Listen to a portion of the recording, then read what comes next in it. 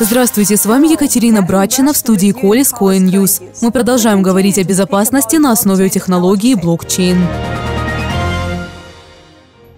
Цифровой обмен данными не означает обмен безопасный. Итак, если вы что-то кому-то посылаете, то это не обязательно защищено. Даже информация, пересылаемая в так называемых частных корпоративных сетях, является приватной лишь частично. О том, как эту ситуацию можно изменить, мы поговорим с нашим гостем. Встречайте генеральный директор проекта P2P Solutions Foundation Джемил Шериф. Знакомьтесь, Джемил Эй Шериф, соучредитель, президент и генеральный директор Electronic Learning Incorporated. Джемил Шериф получил высшее образование в европейских и американских учебных заведениях. Степени BS, BM и MBA были присуждены с отличием и наградами Summa Cum Laude. Также Джемил имеет диплом в области информационных технологий и диплом по программному обеспечению от Stanford Engineering. Ему удалось учиться у знаменитых профессоров Дэна Бонаха и Нейла Десвани. Уже более восьми лет он возглавляет сильную команду и Innovation Solutions International Incorporated, целью которой является содействие созданию глобальной децентрализованной платформы безопасных, без помех, одноранговых коммуникационных систем. Теперь эта уникальная система переходит на блокчейн посредством проекта P2P Solutions Foundation, которую Шериф возглавляет. Из личных достижений Джемила – огромный опыт участия в волонтерском движении. Шериф знает 8 языков, в свободное от работы время ведет курсы криптографии и блокчейна. Его хобби – это путешествия и экстремальные виды спорта, такие как горный горный туризм и отдых на природе. Здравствуйте, Джемил. Рада видеть вас в студии Колес Coin News. Здравствуйте, Кэтрин, и приветствую всех. Спасибо, что пригласили меня и дали мне возможность выступить. Вы планируете предложить пользователям систему, через которую они могут обмениваться конфиденциальными цифровыми активами или файлами без каких-либо вмешательств со стороны третьих сторон, даже не администраторов. Каким образом, как работает идея P2PS? So you may be aware that anything that you exchange today digitally with anyone, anywhere, Итак, вы, наверное, знаете, что все, чем вы обмениваетесь сегодня в цифровом виде с кем угодно, не является конфиденциальным, и любые стандарты конфиденциальности содержат информацию, которой вы обмениваетесь в своих частных корпоративных сетях.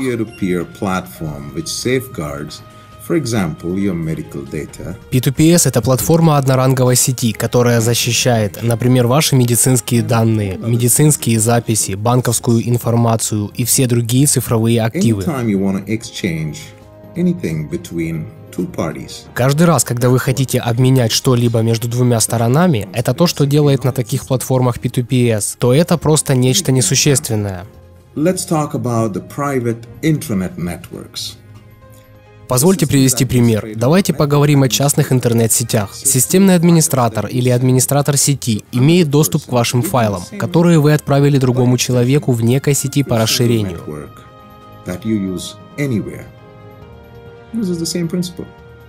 И каждая отдельная сеть, которую вы используете в любом месте, использует тот же принцип. И даже до того, как ваш целевой получатель и Б получили ваши цифровые данные,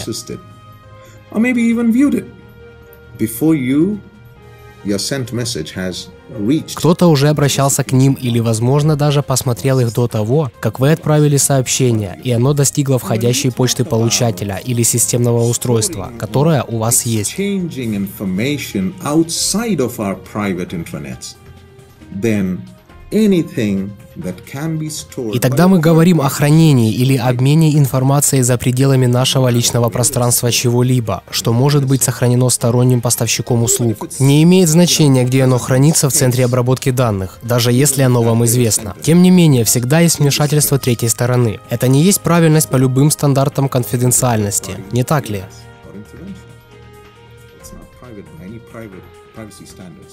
Isn't it? В каких практических областях это будет применяться?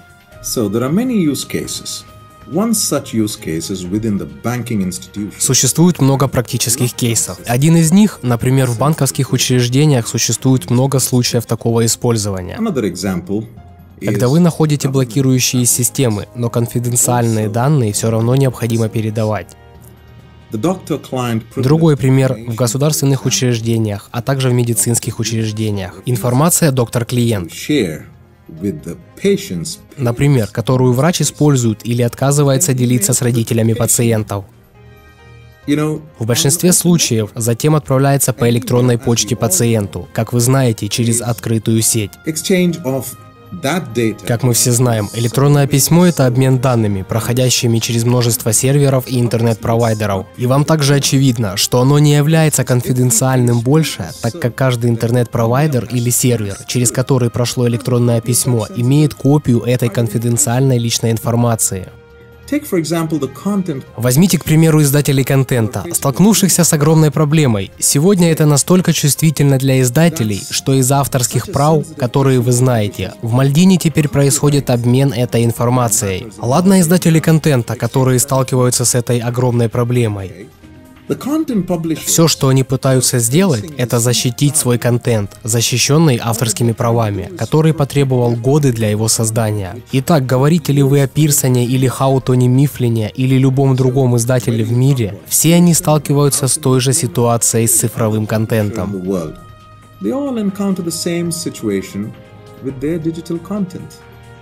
P2PS была создана не вчера. Расскажите, пожалуйста, о долгом пути создания компании. So it all started back in 2010.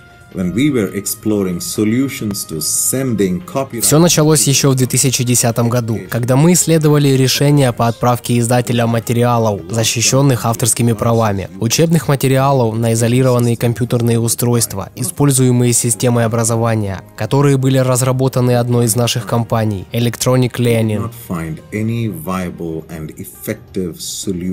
На тот момент мы не нашли никакого жизнеспособного и эффективного решения на глобальном уровне которое могло бы посылать такую информацию, конфиденциальную информацию. Конечно, потому что она защищена авторским правом от одного устройства к другому или даже к нескольким устройствам, без сохранения копии этой передачи на сервисе. Now that's, that was a big challenge for us.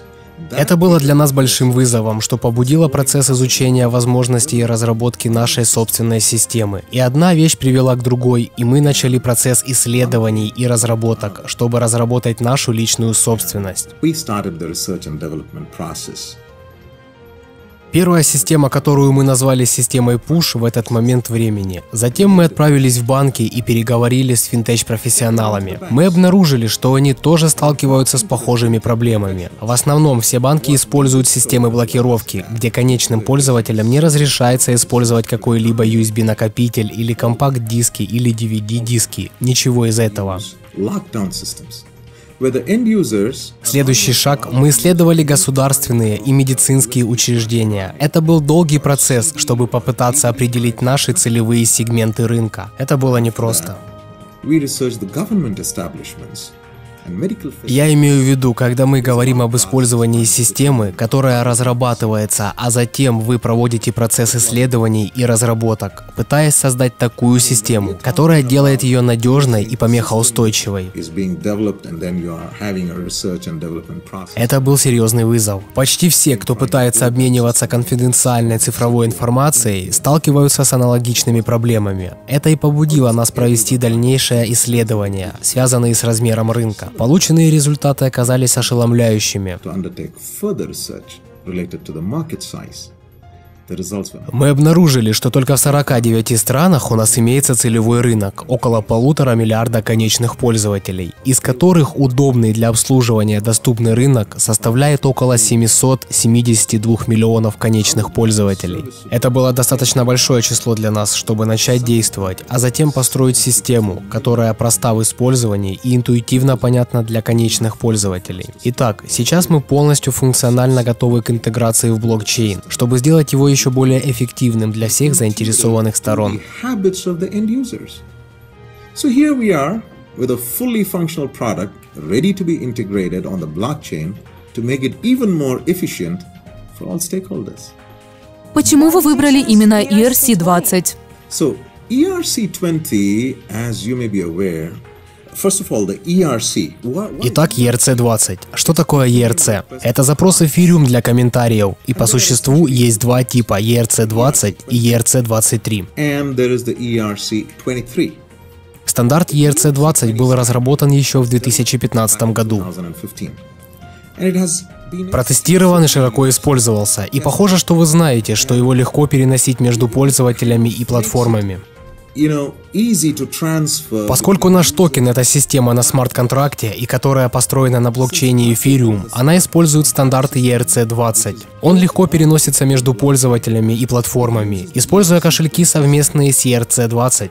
It is seamlessly transferable between users and platforms using the ERC20 compatible wallets. Вы находитесь на финальной стадии ICO. На следующем этапе начинается интеграция блокчейн. Что это значит? Почему вы будете делать это и для чего? Расскажите нам подробнее об этом. So data security is extremely important to everyone, whether government establishments. Действительно, безопасность данных чрезвычайно важна для всех, будь то государственные учреждения или корпоративные учреждения. Если уж на то пошло, оглянитесь вокруг, и вы увидите так много мошенничества с кредитными картами, взломов банковских счетов, взломов криптокошельков и даже бирж. Самая большая проблема, с которой мы столкнулись сегодня, заключается в передаче конфиденциальной цифровой информации и активов из точки А в точку Б без вмешательства какого-либо лица, имеющего какой-либо доступ к ней. Таким образом, одним из самых больших преимуществ интеграции с блокчейн является постоянный учет транзакций и превращение финансовых действий и эффективные и безопасные процессы. Мы поставили систему на блокчейн, что дает огромные преимущества для всех заинтересованных лиц. И как мы все знаем, переход от централизованной к децентрализованной системе имеет больше преимуществ с точки зрения экономии времени и затрат. Вначале это может занять некоторое время, усилия, а также вы понимаете финансовые обязательства, ресурсы для перехода на децентрализованную блокчейн-систему. Конечно, это вызов, но однажды он станет очень рентабельным для всех заинтересованных сторон, будь то учреждения или отдельные конечные пользователи. whether they are institutions or individual end users. Звучит здорово. Какое будущее вы видите для токенов P2PS? Какая прибыль в этом для наших зрителей? The future for P2PS tokens is very bright, in my opinion. Будущее токенов P2P очень яркое, на мой взгляд. У нас есть доступный рынок для обслуживания более чем 770 миллионами потребителей и общим объемом около 100 миллионов токенов. И мы наблюдаем огромный спрос на наши токены P2PS. С течением времени, особенно когда мы запустили платформу на блокчейне, я не смог бы прогнозировать прибыль для наших зрителей. Одна из причин заключается в том, что мы воздерживаемся от предложений. Однако, поскольку токены P2PS — это единственный способ, к которому может получить доступ любой человек, желающий использовать помехоустойчивую платформу,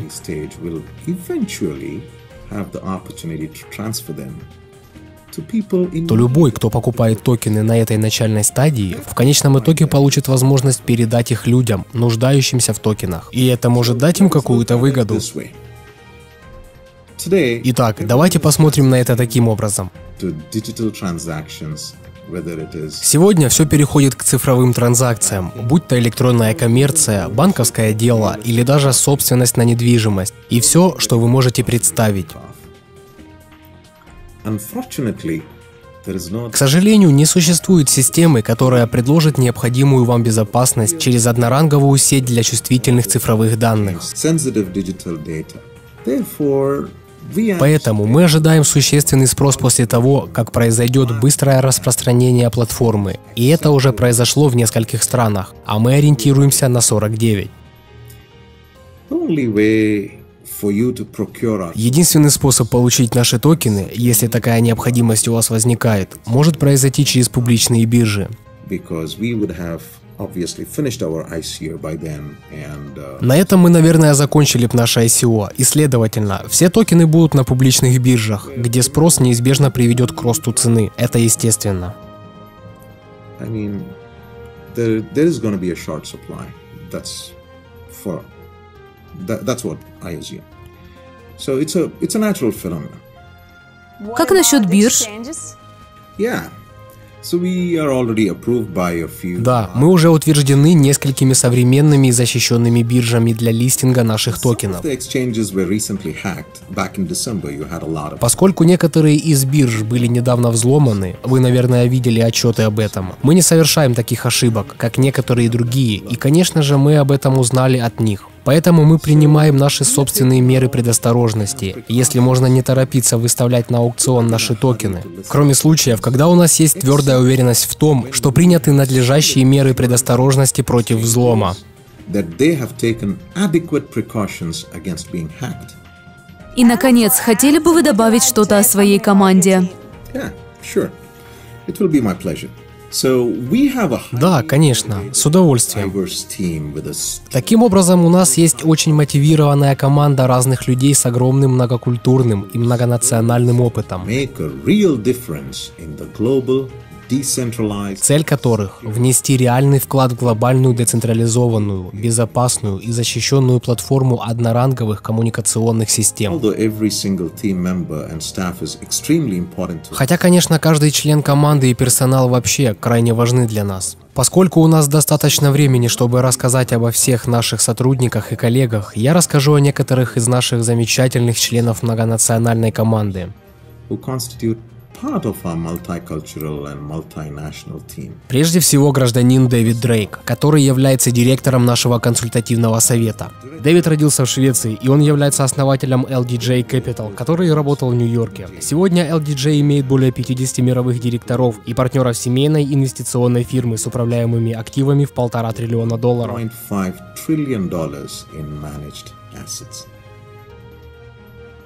Next, Mr. Kenta Chibana. Далее господин Кен Тачибана. Он технический и финансовый специалист. У него есть степени бакалавра и магистра по информатике Калифорнийского университета, а также Беркли и Стэнфорда. А еще у Кена есть степень магистра экономики Стэнфорда. И если этого недостаточно, он также имеет за спиной МБА в области финансов университета Беркли. and Stanford. Затем господин Ян Скарф. Он был бизнес-предпринимателем, страховщиком-консультантом, а также советником. Ян – серийный предприниматель, инвестор-консультант. И он обладает уникальной информацией о каждом аспекте работы организации. Ян специализируется на блокчейн и ICO-консультациях. Немногие люди знают, что Ян является вторым членом как ICO-эксперт по шкале ICO Bench. Я имею в виду ICO Bench мировую шкалу рейтингового агентства. Then, of course, uh, Mike Shokin, Далее, конечно, Майк Шокин, сертифицированный финансовый аналитик, обладающий опытом в области корпоративных финансов, биткоинов и блокчейна. Майк является аналитиком в области фондового анализа в ANG Paris, и он также преподает в Университете Нью-Йорка. Майкл имеет ученые степени в области финансов колледжей Бхаруха колледж Нил и СААС Лондон.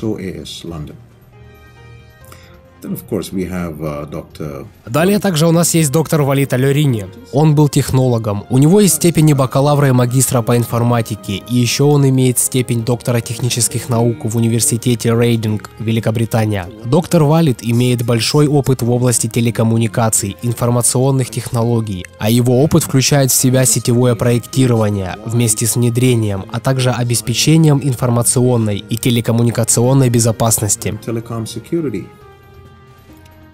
Then again, Sean Kurtz. Шон Кёртс – архитектор финтех-решений и специалист по маркетингу. Шон Кёртс известен как основатель Cloud Network и XWS, и он, конечно же, признанный предприниматель. В 2009 году Шон между делом получил степени бакалавра наук и бакалавра разработки программного обеспечения в Mango Cam Lounge в колледже Blockchain Ranch Университета Флорида. В том же году был запущен блокчейн, и с тех пор Шон Кёртс ассоциируется с блокчейном. Uh,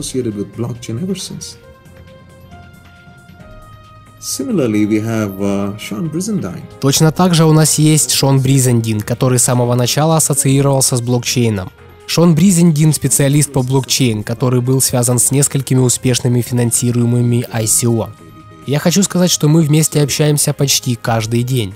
We have several other members И еще у нас есть несколько других сотрудников, но позвольте мне отметить одного заметного члена команды, Джатимдера Кумара. Он занимается нашим маркетингом и обладает значительным опытом в области техники и бизнес-администрирования.